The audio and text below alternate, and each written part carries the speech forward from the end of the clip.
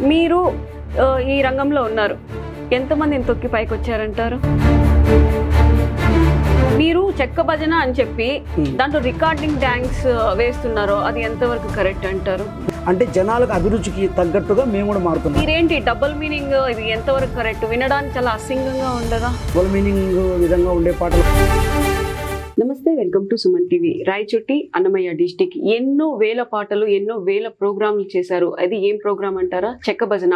చెక్క భజనలో తనకు ఎవరు సాటి లేరు అన్న విధంగా అంత అంచెలంచెలుగా ఎదిగారు. వేల మందికి ఉపాధి కూడా కలిగించారని కూడా చెప్తున్నారు. ఒకసారి ఆయన మాటల్లో అడిగి తెలుసుకుందాం. నమస్తే రవి గారు. నమస్తే ఎలా. ఉన్నారండి? చాలా బాగున్నాం మేడం.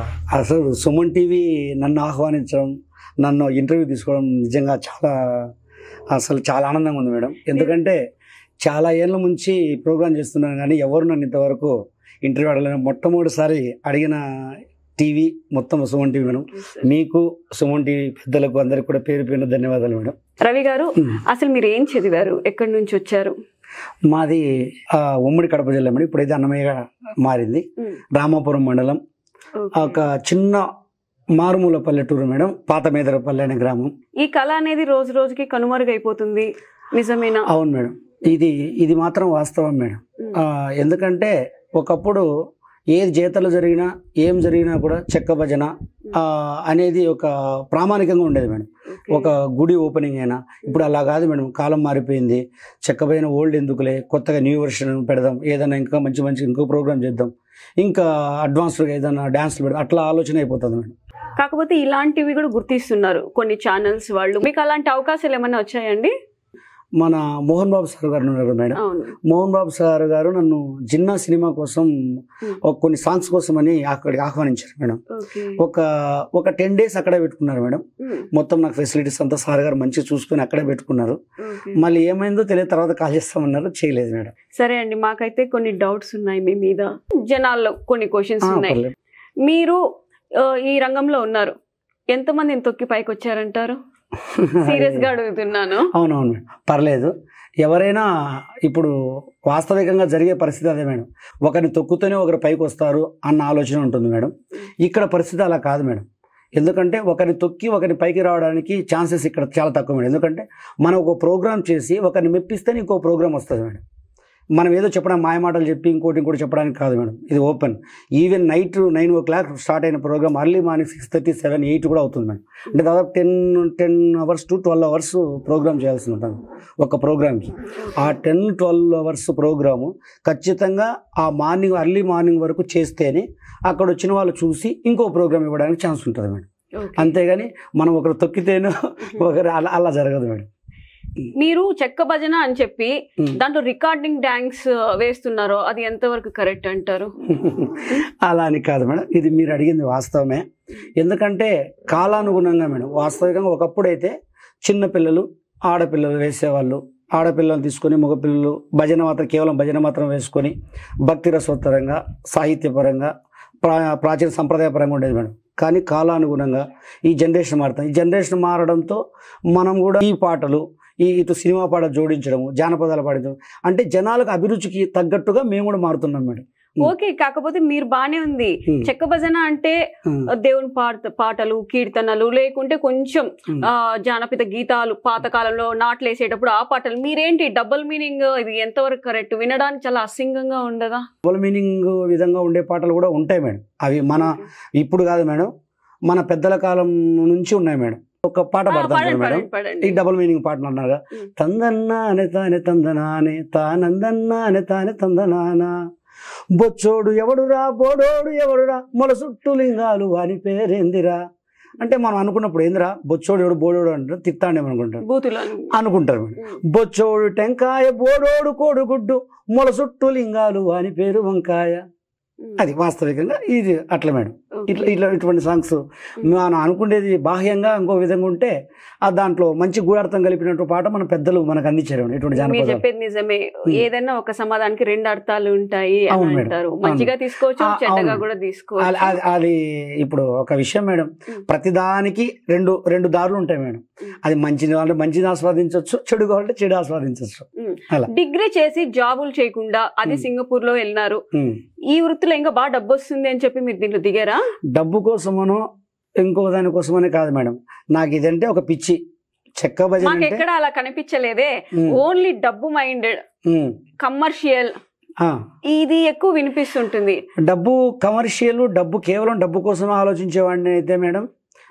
ఈవెన్ ఇప్పుడు ఒక జాతరకు ఇంకో ప్రోగ్రామ్ ఇంకో ప్రోగ్రాము ఆ అబ్బాయి రవి దగ్గరికి వెళ్తే డబ్బులు తీసుకుంటాడు. డబ్బులు మైండెడ్ ఆ అబ్బాయి. అందుకే ప్రోగ్రాంలు ఇచ్చేవాళ్ళు కాదు మేడం. ఇప్పుడు ఒకవేళ ఆ దేవుని దయ వలన మీలాంటి ఆ, చాలా మంది ఆశీర్వాదాల వలన ఖచ్చితంగా ఎంత ట్రెండ్ మారినా ఎంత మన దాదాపుగా ఇరవై ఐదు సంవత్సరాల నుంచి నా జర్నీస్ అవుతుంది మేడం. ఇప్పటికి కూడా ఖచ్చితంగా జాతర జరుగుతుందంటే ఆ రవిని పిలిస్తే మంచి అబ్బాయి. చేస్తాడన్న పేరే ఉంది మేడం. అంటే నా గురించి గొప్పగా చెప్పుకోవడం అది కాదు మేడం. వాస్తవికంగా అది జరుగుతుంది మేడం. మరి ఎందుకు ఈ రూమర్స్ అన్ని వస్తున్నాయి? అయ్యయ్యో నేను అదే చెప్తున్నాను మేడం. అమ్మాయిని బాగా టార్గెట్ చేసి అమ్మాయిలతో చేయిస్తే చాలా బాగుంటది చూడ్డానికి జనాలు కూడా ఒకసారి చెక్క భజన్ అని చెప్పి. అమ్మాయిలు ఎందుకు ఎక్కువగా ప్రిఫర్ చేస్తుంటారు? చాలా మంచి ప్రశ్న అడిగారు మంచి ప్రశ్న అంటున్నారు అన్నిటికీ నవ్వుతా సమాధానం చెప్తున్నారు. అయ్యో, అలా కాదు మేడం. నేను ఇప్పుడు ఏదైనా ఒకవేళ మనకు నాకు ఇబ్బందికరమైనటువంటి పరిస్థితి అయితే నేను భయపడ్డము సంకోచించడం అనాలి మేడం. మీరు ఏది అడిగినా నాకు సంతోషం ఎందుకంటే మేడం జరిగే విషయం నేను చెప్పదలుచుకున్నాను మేడం. వాస్తవంగా ఒకప్పుడు అయితే కేవలం చెక్క భజన పిల్లలు అలా వేసేవాళ్ళం. ఈ కాలం మారింది. ఇప్పుడు మీరు అన్నట్టు మహిళలు చాలామంది వస్తుంటారు. మీరు మహిళలను టార్గెట్ చేస్తున్నారు మహిళలను ఎరా చేస్తున్నారు అనే విషయం కూడా మీరు చెప్పారు నాకు. నేను నాది ఓపెన్ మేడం. ఇప్పుడని కాదు ఎక్కడైనా కూడా. ఎవరైనా సరే నాకు వచ్చే డాన్సర్స్ ఎందుకంటే ఫస్ట్ మొట్టమొదటగా పెద్దలు పూజ్యులు సుధారాణమ్మని ఒక ఆమె ఆమె ఉన్నారు మేడం. తర్వాత ఇంకా చాలామంది డాన్సర్స్ వచ్చారు మేడం. తర్వాత సుధారాణి గారు తర్వాత చాలామంది ఇంకా చాలామంది. ఆ సుధారాణి సురేఖ గారు తర్వాత నాకు వచ్చిన ప్రియమ్మ గారు ఈ మధ్యన ఇప్పుడు నాకు కంటిన్యూ వస్తున్న చిత్రమ్మ గారు ఇలా చాలామంది ఉన్నారు మేడం. డాన్సర్స్ అయితే ఎవరిని కూడా వాళ్ళు ఏమైనా ఒకవేళ ప్రోగ్రామ్ నాకు చెప్పి ఎగరగొడితే అంటే చెప్పింట మన ప్రోగ్రామ్ పలానా రోజు పలానా టయానికని. వాళ్ళు ఏదో చిన్న రీజన్ చెప్పి ఆ రోజు రాకుండా మానేస్తారు. అప్పుడు మాత్రమే కోపగించుకుని మాట్లాడేట తప్పితే ఒకవేళ మనం పొరపాటు ఏమైనా సరిగా వేయకుండా పోవడము ఏమైనా జరిగితే కోపించకుండా తప్పితే తప్పితే నాకు వాళ్ళ మీద ఎటువంటి ఇది కానీ ఎటువంటి ఆలోచన అట్లాంటివి ఏమి ఉండవు. మీరు తొక్కి పైకి వచ్చారు అని కొంతమంది అంటున్నారు. మిమ్మల్ని ఎంతమంది తొక్కారు అసలు? నాకు నాకు అలా ఎప్పుడూ అనిపించలేదు మేడం. నన్ను ఎవరైనా నా మీద ఎవరైనా కాంపిటీషన్ అనుకొని నన్ను ఇబ్బంది పెట్టాలని చూసినా నేను నా మంచి కోసమే అనుకున్నాను మేడం. ఎందుకంటే వాళ్ళు ఎవరైనా వచ్చి నాకు పోటీగా పెట్టి ఇంకా వాళ్ళు నాకంటే బాగా చేయాలనుకున్నప్పుడు కూడా నేను కేవలం నా చిరునవ్వుతోనే నేను స్పోర్టివ్గా తీసుకొని నా ప్రోగ్రామ్ చేసాను చేస్తున్నా మేడం ఇప్పటికి కూడా. ప్రతి ప్రోగ్రామ్ నాకే కావాలి ఇంకొకరికి వెళ్ళకూడదు. ఏంటి ఆ మూర్ఖత్వం? అయ్యో అలా అని ఎప్పుడూ నాకు లేదు మేడం. ఎందుకంటే వాస్తవికంగా ఒక విషయం ఓపెన్గా చెప్పగలుగుతాను మేడం. ఇంతమంది చాలామంది గురువులు ఉన్నారు. ఎంతో మంది గురువులకు ప్రతి ఒక్క గురువుకు ఈవెన్ ఒక ప్రోగ్రామ్ అయినా అంటే ప్రతి ఒక్కరికి ఇప్పించానని చెప్పను కానీ. నాకు తెలిసిన నా సర్కిల్లో ప్రతి గురువుకు మ్యాక్సిమం ఒక్క ప్రోగ్రామ్ అయినా నా తరపున నేను ఖచ్చితంగా అక్కడ ప్రోగ్రామ్ ఉంది మీరు వచ్చి చేయాలి అని చెప్పాను మేడం చాలా మందికి ఓకే. మ్యాక్సిమం మినిమం కూడా మ్యాక్సిమం చెప్పాను మేడం. నాకు ఒక గురువు కూడా ఇంతవరకు నువ్వు వచ్చి ప్రోగ్రామ్ చెయ్యి మేము మా ఊర్లో ఇక్కడ ప్రోగ్రామ్ నీకు ఒప్పిస్తాను అని ఇంతవరకు చెప్పలేదు మేడం. ఇది ఓపెన్. ఇంత సక్సెస్ఫుల్గా నీ జర్నీ అయితే సాగుతూ వస్తుంది. కానీ నెగిటివిటీ కూడా అలాగే పెరిగిపోతుంది. అంటే మీరు జెన్యున్గా ఉన్నా కూడా కొంతమంది అలా విమర్శిస్తూ కూడా ఉండొచ్చు కూడా. వాస్తవికంగా లేవు మేడం? ఎందుకంటే ఎవ్వరు అసలు నా గురించి చెడ్డ రవి చెడ్డోడు అన్న కాన్సెప్ట్ కంటే కూడా మంచోడు అన్న ఇదే ఎక్కువ ఉంది మేడం మా కళాకారులలో. నేను స్టెప్ బై స్టెప్ ఎక్కడానికి కారణం అంతా వీళ్ళ అసూయ ఈర్ష్య మేడం. కదా? ఎవరు చెప్పండి వింటాం. అయ్యో పేర్లు చెప్పేంత? ఏం లేదు మేడం. మామూలు జనాలు కామన్. జన- జనాలు కామన్ మేడం. అటు ఉంటారు ఇటు ఉంటారు. మాకు పాట వినిపిస్తే కొంచెం పాట వినిపించాలా మేడం? ఒకటి ఒక అమ్మాయి తన భర్త సరిగ్గా చూసుకోవట్లేదని ఎక్కువ బయట వాళ్ళకి ఎక్కువ ఇస్తానని పడే బాధ మేడం. ఆలి అంటే ప్రేమ లేదురా మొగుడా. నేనంటే మోజు లేదురా నా మొగుడా నా మీద ప్రేమ లేదురా. కట్టుకున్న దానికేమో కాటన్ చీర తెస్తావు ఉంచుకున్న దానికేమో పట్టు చీరలు ఇస్తావు. ఆలి అంటే ప్రేమ లేదురా మొగుడా నేనంటే మోజు లేదురా నా మొగుడా నా మీద ప్రేమ లేదురా. కట్టుకున్న దానినేమో గడపనైన దాటనీయు ఉంచుకున్న దానినేమో ఊరు ఊరు దిప్పుతావు ఇలా ఉంటుంది. అలా అని మేము మహిళలను కించపరచాలనే కాదు మేడం. మహిళలు మీరు మీరు పొరపాటుగా అనుకోవద్దు మేడం కొంతమంది. వాళ్ళు ఏమి వద్దు వద్దు అంటుంటారు కానీ వాళ్ళకి కావాల్సినవన్నీ కావాలనుకుంటారు మేడం. ఈ కాన్సెప్ట్తోనే చిన్న ఎందుకంటే భర్తను ఖచ్చితంగా వాడు నెలకు వచ్చేసరికి ఏదో ఒకటి ఏదో రూపంలో కొనిపెడితేనే మంచోడు. లేదంటే ఆ ఏదో ఒకటి గలాట ఇంట్లో పరిస్థితులు గలాట అంటే మా రాయలసీమ మాట అట్లే ఉంటుంది మన గలాట అని అది ఇది తెమ్మని అడిగేదాన్ని కాదు ఓ మొగుడా. గట్లాంటి కోరికలు నాకు లేవురా నా మొగుడా. ఆ గట్లాంటి కోరికలు నాకు లేవురా నా మొగుడా. అంటే కోరికలు లేవంటే నమ్మేద్దు మేడం. నా మీద ప్రేమ ఉంటే చాలు అదే నాకు పదివేలు. అలా నమ్మొద్దండి మేడం. ముక్కుకు ముక్కెరలేక నా ముక్కెంత చిన్న వయసూడు. నీకు కనిపిస్తే కొనుక్కురారా? నేను మళ్ళీ మళ్ళీ అడిగేదాన్ని కాదురా. అది ఇది తెమ్మని అడిగేదాన్ని కాదు ఓ మొగుడా. గట్లాంటి కోరికలు నాకు లేవురా నా మొగుడా. ఆ గట్లాంటి కోరికలు నాకు లేవురా నా మొగుడా. ఇటువంటి ఎందుకంటే మేడం భజన అంటే మీరు ఇట్లా అల్లరనో రికార్డ్ డాన్స్ ఇంకోటి కాకుండా ప్రజలను చైతన్య పరిచే విధంగా కూడా చాలా పాటలు మేము పాడుతుంటాం మేడం. ఎందుకంటే ఇప్పుడు అమ్మాయిలు కొంతమంది చిన్న చూపు చూసి బడికి పంపించకుండా వాళ్ళు ఉంటారు కదా.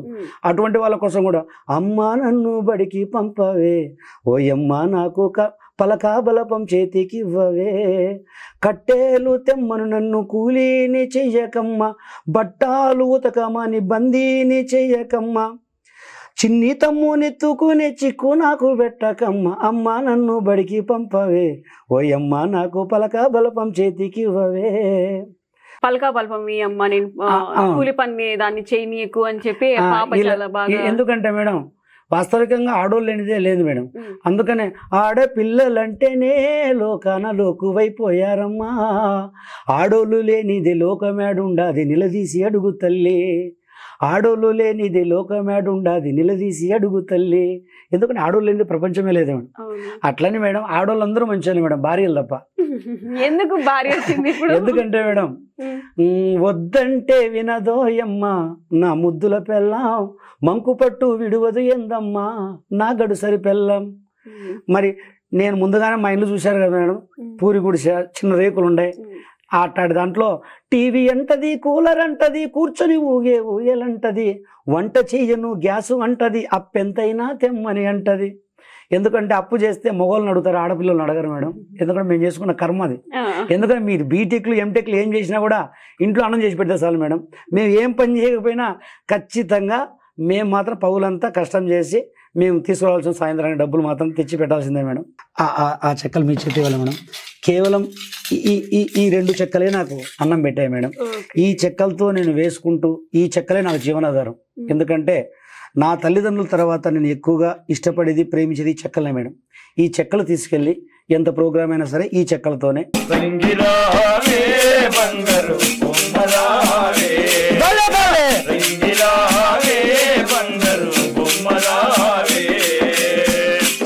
సంపంగి చీరేగట్టు సిగలో మల్లాలు పెట్టు. సంపంగి చీరే గట్టు సిగలో మల్లెలు పెట్టు. నా కోసం నడచి రావే అందమైన రంగిని రంగిలావే బంగారు భలే.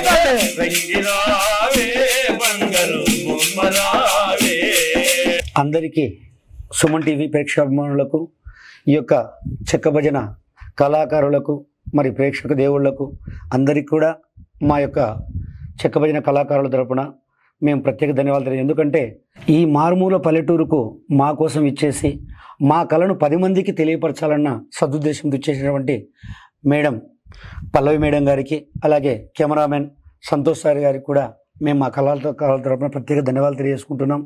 ఎందుకంటే మమ్మల్ని ఖచ్చితంగా ఇంకో ఇంకొద్దిగా ఇంకా పది మంది చూసి పది మంది తెలియపరచాలని నా సద్దేశం వచ్చేసారు మరి మా ఎందు ఏమైనా తప్పులుంటే మన్నిస్తారని.